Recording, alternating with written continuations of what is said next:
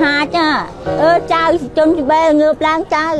ញ៉ាត់ទៅហ៊ានណាចៅគោះទ្វារហើយក៏មិនលឺមាត់ខ្ញុំក៏ហៅប្តីខ្ញុំវានឹងផងទៅចកាហើយខ្ញុំហៅពូនេះឲ្យឡើងមិននេះមើលបើខ្ញុំគោះទ្វារហើយនេះអត់មានពីណាឆ្លោយអីមួយម៉ាត់សោះនេះបានជាកូននៅអីវត្តជ្រឹងនឹងទាំងអស់គ្នានឹងមកហើយអាក្មួយនោះក៏មក មកមុនដំបូងមកគោះសោសោបន្ទប់ហ្នឹងណាគោះអត់កើតយកអាណាអាដែកហ្នឹងមកអាថាគោះមើលមើលម៉ូតូវាមើលនៅក្នុងហ្នឹងហើយវាអត់ទេ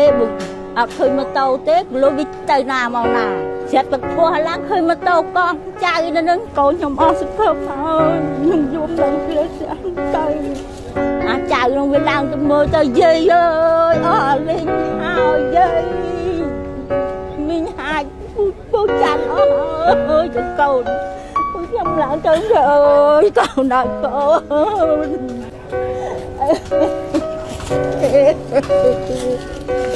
គុំកម្មអីក៏គាត់មែប្រៃគឺចិត្តខ្មៅមែមេអត់ទាន់ដឹងអីសោះនោះបាន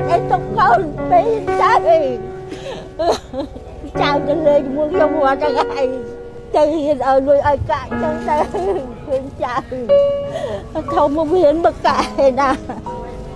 អូខ្ញុំដែរឃើញផ្ទះដល់យ៉ាងហ្នឹងទេមួយហើយក៏មួយ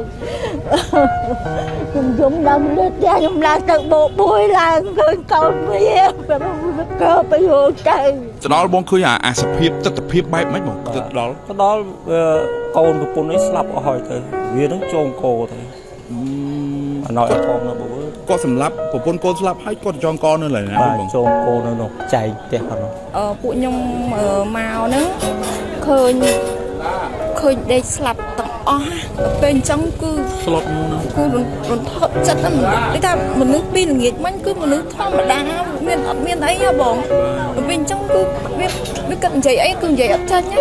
យើងទៅដល់បងឃើញរូបភាពបែបម៉េចឯងបងក៏ពុកគាត់3នាក់ម្ដាយ ហើយកូនដេកចិត្តគ្នាហើយឪពុកហ្នឹងចងកអញ្ចឹងឪពុកគាត់ចងកនៅណាវិញបងអឺចងកនៅក្នុងកតុបនឹងដែរនៅចិត្តអួចនៅចិត្តទ្វារនេះចងនៅជប់ទ្វារមកណាមិនមែនគាត់ចងហើយគាត់ចេញពីនឹងទៅចងឲ្យឆ្ងាយកន្លែងទេនៅចិត្តនៅចិត្តគ្នាហ្នឹងតែគ្រាន់ថាបើរឿងឆ្លោះប្រកែកគ្នាគឺក៏ដែរមានទេហើយគឺប្តីប្រពន្ធហ្នឹងគឺមនុស្សស្លូតបូតណា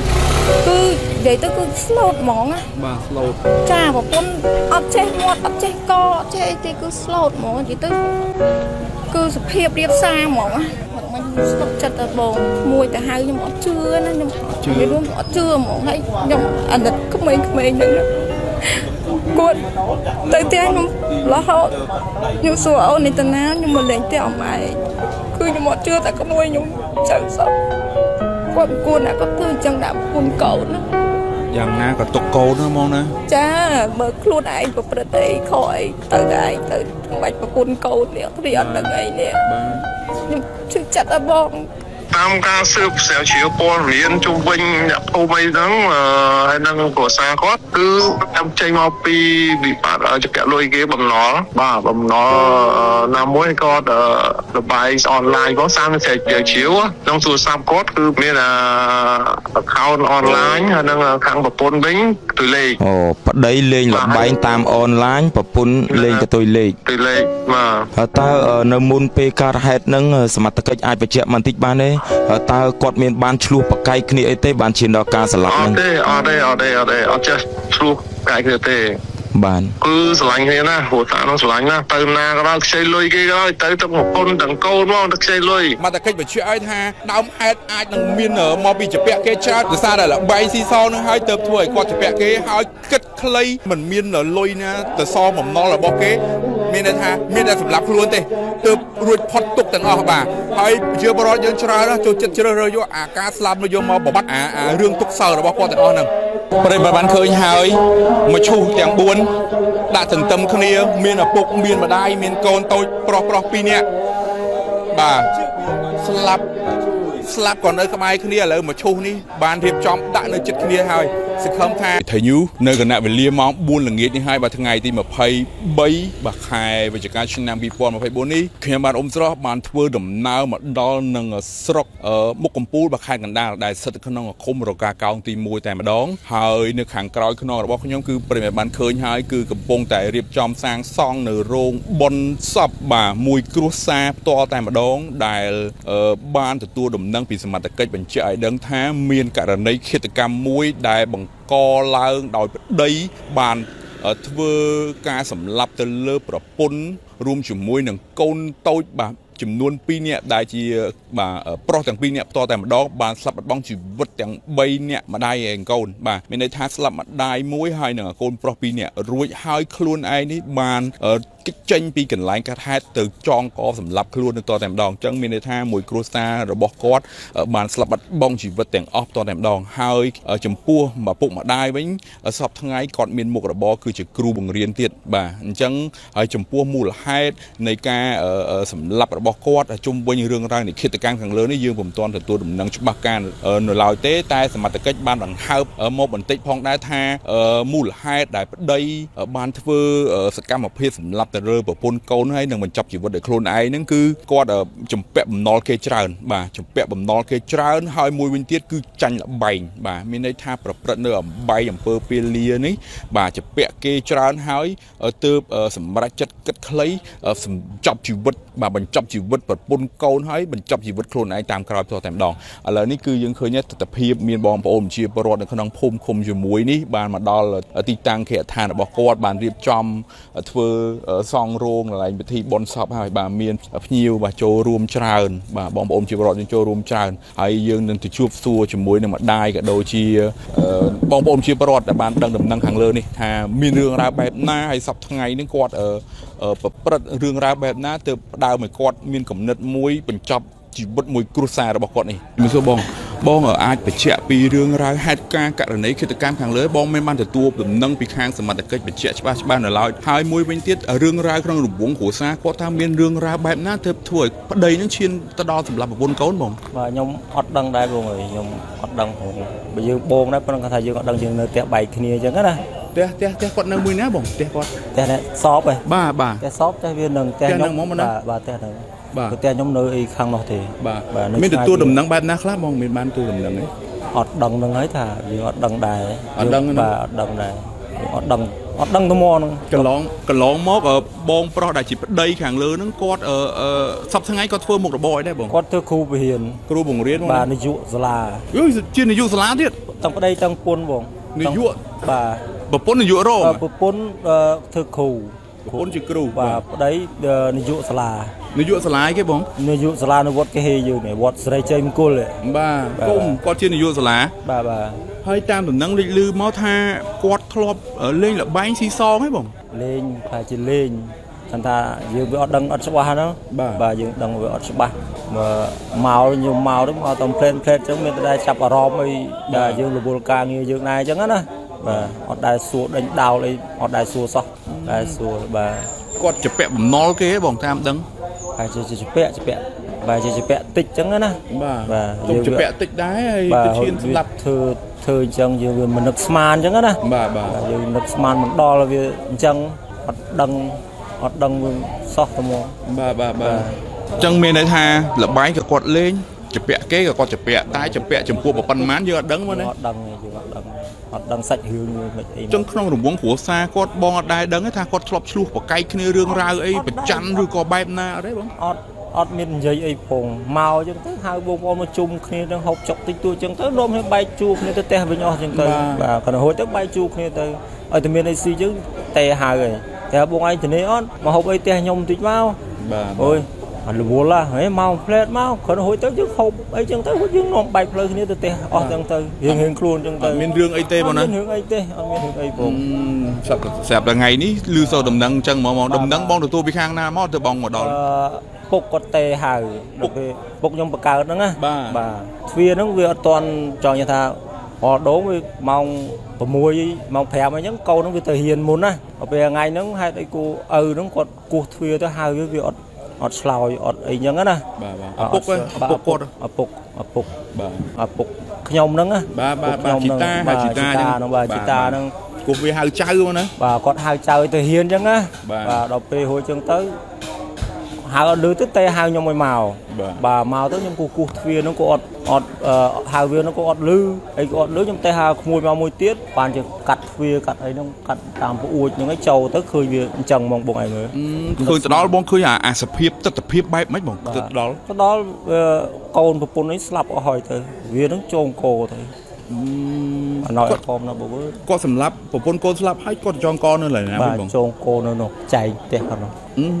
នៅចំហៀងផ្ទះខាងនោះវិញបងណាជំហៀងខាងនោះបងជំហៀងខាងនោះបាទបាទចងចងចំហៀងខាងហ្នឹងវិញអញ្ចឹងអាសភាពសពរបស់អឺអឺអឺប្រពន្ធហើយនឹងកូនស្លាប់បែបម៉េចដែរបងស្លាប់យើងចង់និយាយថាវាហិតកោហ៎រត់កហ្មងណាឃើញស្នាមកកហ្មងបាទណាស្នាមកកោនោះតាំងតាំង3នាក់ហ្នឹងហ្មងទាំង3នាក់ម៉ែកូននោះទាំង3ហ្នឹងទៅធូរហើយព្រោះវានឹងចងកោសម្រាប់ខ្លួនឯងទៅ បាទមានមានតែបដិសារីខ្ជិលរស់នៅឬយ៉ាងម៉េចហ្នឹងប្រហែលយើងនឹកស្មានវាមិនដល់បងអើយមនុស្សបាទសំតែគាត់ជាអ្នកចេះដឹងមួយរូបហើយជានាយកសាលាទៀតហើយគាត់បែបជាធ្វើទង្វើខូខើលើថ្នាក់ហ្នឹងបាទបាទហើយយើងទុកឲ្យកោទុកកូនទៅណាបាទបាទយើងណាយើងទុកកូនហ្មងណាបាទមិនទុកកូនណាដាក់មកពូជទៅបាទហ្មងទៅបាទនិយាយទាំងអស់បាក់ស្ដាប់ចឹងទៅណាបាទបាទអឺទេវតានិតជាងគេគឺលោកយាយតាយំមិញយំដល់ហើយបង ចង់ចូលរួមរំលែកទុកបងផងបងបាទអរគុណច្រើនបងដែលបានផ្ដល់បើកវាចូលរួមរំលែកទុកបងកើតចឹងណាបាទអញ្ចឹងមានតែគ្រួសារគាត់គឺជាសាច់ថ្លៃណាបងចាណាចាតើអឺបងមានទទួលបានដំណឹងបែបណាខ្លះហើយជុំវិញរឿងរ៉ាវខាងលើហ្នឹងសមត្ថកិច្ចមានបានបញ្ជាក់ថាឥឡូវនេះស្លាប់បែបម៉េចបែបម៉េចអីទេបងអឺខ្ញុំអត់ទាន់ដឹងច្បាស់ដែរដោយសារខ្ញុំទៅមកចឹងណាទៅមកតែដល់ណាព្រឹកមិញខ្ញុំអឺពួកខ្ញុំអឺមកហ្នឹងឃើញឃើញដេកស្លាប់ទាំង អស់ដល់ពេលអញ្ចឹងគឺស្លុតមកណាគូររន្ធត់ចិត្តណាមនុស្សដូចថាមនុស្សពីល្ងាចមិញគឺមនុស្សធម្មតាមានអត់មានអីហ៎បងដល់ពេលអញ្ចឹងគឺវាវាគិតនិយាយអីគឺនិយាយអត់ចាញ់ណាយើងទៅដល់បងឃើញរូបភាពបែបម៉េចទេបងក៏ក៏ពួកគាត់3នាក់មិញម្ដាយហើយកូនដេកចិត្តគ្នាហើយឪពុកហ្នឹងចងកអញ្ចឹងណាឪពុកគាត់ចងកនៅណាវិញហ្មងអឺចងកនៅក្នុងកន្ទប់នឹងដែរនៅចិត្ត ប្រអួចនៅចិត្តទ្វារនេះនេះអឺចងនៅជប់ទ្វារហ្មងណាចាមិនមែនគាត់ចងហើយគាត់ចេញពីនឹងទៅចងឲ្យឆ្ងាយកន្លែងទេនៅចិត្តនៅចិត្តគ្នាហ្នឹងមានន័យថា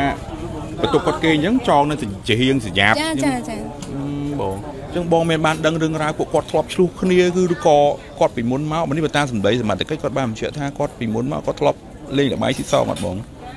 អឺហ្នឹងខ្ញុំមិនសូវដឹងទេបងដោយសារយើងបងប្អូនមែនតែយើងមិនអាចសួររឿងតិចក្នុងរបស់គេអញ្ចឹងណា តែគ្រាន់ថាបើរឿងឆ្លោះប្រកែកគ្នាគឺក៏ដែរមានទេហើយគឺប្តីប្រពន្ធហ្នឹងគឺមនុស្ស slot boat ណាគឺនិយាយទៅគឺ slot ហ្មងណាបាទ slow ចាប្រពន្ធអត់ចេះមាត់អត់ចេះកអត់ចេះអីទេគឺ slot ហ្មងនិយាយទៅគឺសភាពរៀបសារហ្មងណាបាទសប្តាហ៍ថ្ងៃពួកគាត់ទាំងពីរនាក់ធ្វើការមុខរបរដែរអ្នកបងស្រីប្តីនាយកសាលាហើយប្រពន្ធគ្រូបង្រៀនអឺសិតតអ្នកទៅថាមានការរៀនសូត្រពងពោះ បាជារឿងថាយើងឲ្យយល់យើងគិតអត់ដល់ចំពោះរូបគាត់ថាគាត់ពេលហ្នឹងអារម្មណ៍គាត់ច្បុកច្បល់បែបណាទៅធ្វើឲ្យគាត់ដាច់ចិត្តបែបនេះបងយើងពិតជាពិបាកនិយាយពិបាកនិយាយហ៎បងបាទខ្ញុំពិបាកនិយាយមែនតើហើយណាមួយធម្មតាអ្នកណាក៏ជាពាក់គេដែរមិនមែនថាមិនជាពាក់ទេតែគាត់ខ្ញុំប្រាប់រឿយរឿយឲ្យគាត់ដំណោះស្រាយតែគាត់ជាពាក់អឺឮថាជាពាក់ធនាគារ ជាពាក់ធនាគារចាតែសមត្ថកិច្ចបញ្ជាក់មកថាគាត់ជាពាក់បំណុលគេយើងដឹងជាពាក់ខាងណា តែមួយទៀតគឺគាត់ថាគាត់លេងលបែងស៊ីសងច្រើនអាចមកពីលេងលបែងច្រើនទៅបញ្ជាក់គេឬក៏បែបណាបងស្រីអឺមើលតាមខ្ញុំដឹងពីមុនមកគាត់ជាពាក់គេដោយសារគាត់យកលុយមកធ្វើផ្ទះធ្វើអីចឹងណាហើយអឺលបែងស៊ីសងប្រហែលជាពេលក្រោយទៀតទេខ្ញុំអត់សូវដឹងទេហើយបងប្អូនក៏អត់មានអ្នកណាដឹងដែរបាទ ចឹងដោយសារអីរឿងអីគាត់តាប្តីប្រពន្ធគាត់ចឹងណាហើយទាស់តែងទៅអីក៏គាត់អត់ដែរទាស់ដែរបាទអញ្ចឹងរឿងរ៉ាវអីមានតែប្តីប្រពន្ធដឹងហើយដល់ពេលស្លាប់នាំទាំងប្រពន្ធនាំទាំងកូនទៅទាំងអស់ចាអឺខ្ញុំសូមពៀនលាបងជួយអឺរកសំនួយឧបត្ថម្ភឲ្យគាត់គាត់អត់មានទេបាទអលិតណាពេលដែលផ្សាយទៅសង្ឃឹមថាបងប្អូនអ្នកទស្សនាគេឃើញគេនឹងផ្ញើឬក៏គេគាត់មកដោយផ្ទាល់អញ្ចឹងណាបងបាទ គាត់មិនស្លុកចិត្តតែបងមួយទៅហៅខ្ញុំអត់ជឿណាខ្ញុំអត់ជឿរួមអត់ជឿហ្មងហើយខ្ញុំអាណិតក្មេងៗហ្នឹងណាគាត់ទៅផ្ទះខ្ញុំរហូតខ្ញុំសួរអូននេះតាណាខ្ញុំមកលេងផ្ទះអមឯងគឺគឺខ្ញុំអត់ជឿតែក្មួយខ្ញុំចឹងសោះគាត់គួរណាគាត់ធ្វើអញ្ចឹងដាក់គុណកូនណាយ៉ាងណាក៏ទុកកូនហ្នឹងហ្មងណាចាមើលខ្លួនឯងប្រព្រឹត្តអីខុសអីទៅតែឯងទៅមិនបាច់ប្រគុណកូននេះព្រីអត់ដឹងអីនេះបាទ ខ្ញុំជឿចិត្តអត់បងហើយប្តីប្រពន្ធគេនឹងប្រពន្ធមនុស្សល្អណាស្លូតមកនាមតែនិយាយអីរឿងអីពុកបាចិត្តអីគ្រប់នាមតែនិយាយដែរមនុស្សស្អីលាក់វាទុកតែឯងមិនដែរប្រាប់មិនដែរឲ្យបងប្អូនឲ្យដឹងទេជាអ្នកគ្រូមួយរូបទៀតឥឡូវនេះសិស្សសិស្សមិនដឹងថាគាត់យំនឹកអ្នកគ្រូគាត់បែបណាទេឥឡូវបាត់បង់អ្នកគ្រូបាត់បង់យុវសាលាទៀតអរគុណបងដែលតាមផ្ដល់ចូលរួមលេខទុកផងបង បាទប្រិមត្តជននេះគឺជាទស្សនវិជ្ជាបាទព្រះសង្ឃនិមន្តមកចំនួន5អង្គបាទគាត់រៀបចំបាទលោករៀបចំធ្វើនៅធរនមស្ការឧទ្ទិសកុសលផលបុណ្យជូនទៅដល់អឺសពបាទជូនទៅដល់សពដែលបានចែកឋានទៅចំនួន4នាក់ប្តីប្រពន្ធនិងកូនតូចប្រុស2នាក់បាទ ម្នាក់12ឆ្នាំម្នាក់ទៀត10ឆ្នាំបាទកូនបងហ្នឹងឈ្មោះអាវុធស៊ីបែលហើយប្អូនហ្នឹងឈ្មោះអាវុធស៊ីជូន បាទប្អូនអាយុ10ឆ្នាំបងអាយុ12ឆ្នាំបាទព្រះអង្គអង្គនិមន្តមកដល់ថ្មីស្វ័យសម្ដែងពធហើយកាលពីព្រឹកមិញនេះគឺកម្លាំងសមត្ថកិច្ចបានរៀបចំធ្វើកសលវិច័យត្រួតពិនិត្យទៅលើសពរួចរាល់ហើយដែរហើយសមត្ថកិច្ចបញ្ជាក់ឲ្យថាអឺជនល្មើសដែលបានសម្លាប់អឺស្ត្រីជាប្រពន្ធរួមជាមួយនឹងកូនតូចហ្នឹងគឺអឺសម្លាប់ដោយការប្រើខ្សែរឹតកកបាទខ្សែរឹតកកបាទរឹតកកប្រពន្ធកូនស្លាប់បាត់បង់ជីវិតឲ្យដេកដួលនៅលើបាទកន្លែងដែលសម្គាត់គេយប់ឡើងហ្នឹងហើយហើយខ្លួនឯងហ្នឹងដើរទៅចងខ្សែនឹងចង្រឹងបែបប្អួយហ្នឹងចងកសម្រាប់ខ្លួនឯងបន្តទៀតផងដែរបាទអញ្ចឹងមានន័យថាសម្រាប់ប្រពន្ធកូនរួចហើយក៏សម្រាប់ខ្លួនឯងតាមក្រោយបាទហើយទៅទៅជួបក្រៅអន្តេយុចង្រិសង្រចនកាយៈតៃសារៈនាសាហតៃសកលាយ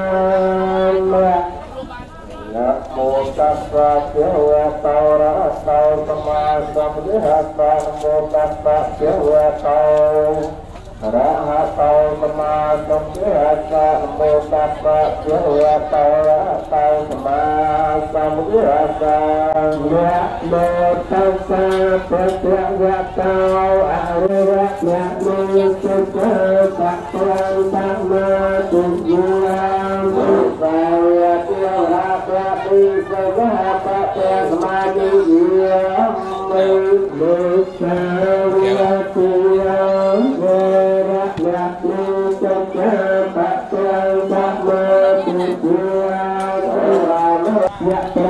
ជុំវិញនៅករណីរឿងរ៉ាវឃាតកម្មមួយដែលបដើមឡើងដោយប្តីរបស់គាត់ជានាយកសាលាមួយកន្លែងដែលស្ថិតក្នុងឃុំរកាកោងទី1ស្រុកមុខកំពូលខេត្តកណ្ដាលខាងលើនេះសមត្ថកិច្ចបានបង្ហើបនៅបញ្ជាក់ខ្លះៗហើយថាមូលហេតុក្នុងការសម្លាប់អឺទៅលើគ្រួសាររបស់គាត់ហ្នឹងគឺជុំវិញនៃរឿងរ៉ាវជំពាក់នៅបំណុលរបស់គេហើយខ្លួនគាត់ទៀតនោះបាទគឺអឺអឺអឺប្រព្រឹត្តនៅលបែងបាទ បាទលបែងស៊ីសងរួចក៏ធ្វើជាឲ្យគាត់មានការជពាក់បំណុលគេច្រើនជុំទឹះអញ្ចឹងទៅក៏បាទធ្វើឲ្យគាត់មានគំនិតមួយបាទបញ្ចប់នៅជីវិតរបស់ប្រពន្ធកូនខ្លួនឯងរួមជាមួយនឹងខ្លួនឯងផងម្ដងតែម្ដងហើយអ្វីដែលសំខាន់នោះថាយើងពុំដឹងច្បាស់ថាក្នុងចិត្តរបស់គាត់គឺគិតបែបណាទេប្រសិនបើគាត់ស្លាប់ទាំងខ្លួនឯងទៅវាមិនថ្មីទេក៏ប៉ុន្តែនេះគាត់នាំទាំងប្រពន្ធនាំទាំងកូនរបស់គាត់បាទសម្លាប់ដោយយកខ្សែរឹតកករបស់ប្រពន្ធកូនឲ្យស្លាប់ខ្សៃបាទទាំងនៅក្មេងៗទៀតបាទប្រពន្ធ ក៏ជាអឺអឺអ្នកគ្រូបង្រៀនមួយដែរហើយចំណែកឯប្តីក៏ជានាយកសាលាមួយដែរបាទគាត់អឺមានចំណេះដឹងធ្វើដល់នាយកសាលាហើយសមណាស់ជាគិតវែងឆ្ងាយផងដែរហើយមួយវិញទៀតគឺលបជុំវិញរឿងរ៉ាវលបែងស៊ីសងតែម្ដងបាទលបែងមកតែងនាំនៅវិនិច្ឆ័យបាទលេងច្រើនបាទមិនមែនតែចិត្តថាឲ្យលេងច្រើនសបាយនោះទេលេងកាន់តែច្រើនជពាក់គេកាន់តែវាន់កជាក់ស្ដែងគឺអឺក្នុងថ្ងៃនេះតែម្ដង ទស្សនវិជ្ជាបត់សពខាងលើគឺអឺអំពើនៅឃាតកម្មប្តីសម្រាប់ប្រពន្ធសម្រាប់កូនផ្ដើមមកពីការជពាក់បំណុលក៏ដូចជាការលេងលបែងស៊ីសងច្រើនទៅធ្វើឲ្យខ្លួនឯងនឹងគិតលេងចេញសុញគំនិតបាទដោយសារតែជពាក់គេច្រើនពេករកអីសងគេមិនបានមានតែបញ្ចប់ ជីវិតតែម្ដងហើយបញ្ចប់ខ្លួនឯងមិនធ្វើឲ្យនាំទាំងប្រពន្ធនាំទាំងកូនឲ្យស្លាប់ទៅតាមទៀតបាទអាណធមបើកូនអាយុបងហ្នឹងអាយុ12ឆ្នាំអាចំណាយកូនហ្នឹងអាប្អូនអាយុ12ឆ្នាំហើយសិតតអ្នករៀនបកែទៀតបានសញ្ញាបត្រពីសាលាដល់ឲ្យទៀតឥឡូវនេះអ្នកគ្រូបាទក្នុងសាលារៀនមួយកន្លែងខាងលើមិនដឹងថាសិស្សគាត់នឹកបែបណាទេហើយចំណែកឯនាយកសាលាមួយទៀតមិនដឹងថាធ្លាប់សិស្សធ្លាប់តែគោរព បាទធ្លាប់តែអោលលំតូន បាទជាអ្នកចេះដឹងមួយរូបបែរជាធ្វើនៅរឿងរ៉ាវខូខើដល់ថ្នាក់នេះបាទឥឡូវនេះទស្សនភាពបនសពបាទចំពោះគ្រួសារគាត់ទាំង4នាក់ផ្ទាល់តែម្ដង បាទបុនសពខាងលើ បាទខ្ញុំអណិតធមបាទអណិតសូមែនតើគឺក្មេងតែម្ដងបាទខ្ញុំអណិតសូទៅដល់ក្មេងមែនតើ បាទអត់គ្នាដឹងអីទេគេងសុកសុកបាទគេងនៅសុកសុកស្រាប់តែឪពុកយកខ្សែមរឹតកកឲ្យស្លាប់ទៅតាមម្ដាយហើយខ្លួនឯងនេះជាប្តីបាទប្រហែលថាបើនៅរស់ក៏នៅតែជាប់គុកដដែលអញ្ចឹងមានតែសម្លាប់ខ្លួនឯងដែរបាទយកខ្សែដែលរឹតកកនោះយកទៅចងកនៅ ចង្រឹងក្បែរប្អួចហ្នឹងបាទស្លាប់ទៅតាមគ្នាមួយគ្រួសារតែម្ដងព្រឹកឡើងទៅជីដូនជីតាបានទៅហៅបានទៅដាស់ចៅឲ្យទៅរៀនបែជាមិនលឺសូរសំឡេងចៅឆ្លើយមិនលឺសូរសំឡេងកូនភាសាកូនបង្កើតឆ្លើយតបទេ បាទក៏នាំគ្នាធាក់ទ្វារទម្លុះក៏ដូចជាអាកាត់សោអាកាត់នៅទ្វារប្អួចទៅក៏ចូលទៅឃើញឪពុកនៅចងកកទៅឲ្យកូនហើយនឹងប្រពន្ធរបស់គាត់នឹងបានស្លាប់បាត់បង់ជីវិតដេកស្លាប់នៅលើកតេលទៅហើយបាទពិតជាអនាធមមែនទែនឥឡូវនេះកម្លាំងសមត្ថកិច្ចព្រឹកមិញក៏បានមកធ្វើកសោបច្ច័យផងដែរបាទបញ្ជាក់ហើយថាការស្លាប់របស់ប្រពន្ធហើយនឹងកូនគឺឃាតករដែលជាប្តីបានយកខ្សែបាទយកខ្សែទៅរឹតកក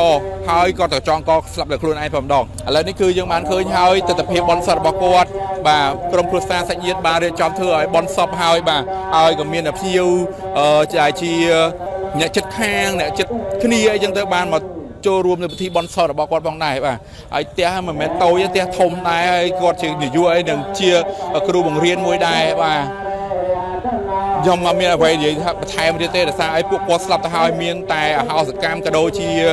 ចូលរួមរំលែកទុកទៅដល់ក្រុមគ្រួសារសាច់ញាតិសពផងដែរដែលគាត់បានបាត់បង់នៅសមាជិករបស់គាត់អ្នកយំសោកបោកខ្លួនគឺនៅទៅដល់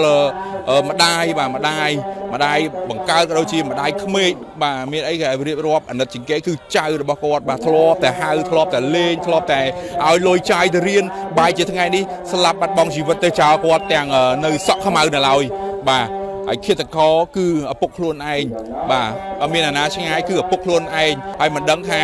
រឿងរ៉ាវរបស់គាត់វាច្រើនបែបណាទេរឿងរ៉ាវគាត់វាមានរឿងរកម្មរកោក្នុងគ្រួសារគាត់ក៏